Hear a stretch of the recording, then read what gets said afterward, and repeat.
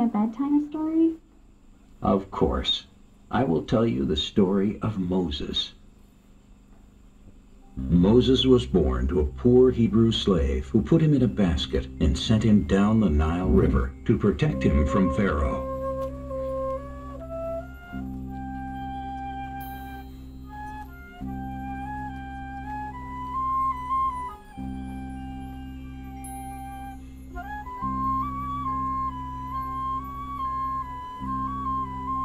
Moses was found by one of Pharaoh's daughters, who took him and raised him as her own. He became a member of the family who ruled the mightiest nation in the world, Egypt.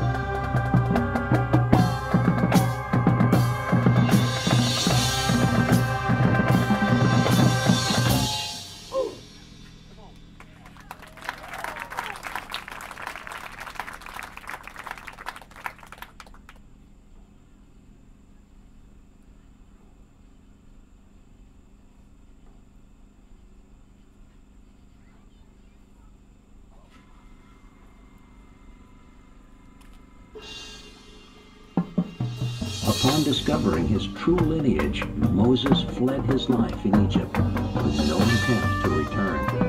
However, God showed himself to Moses in a burning bush and instructed him to go back to Egypt and free his people.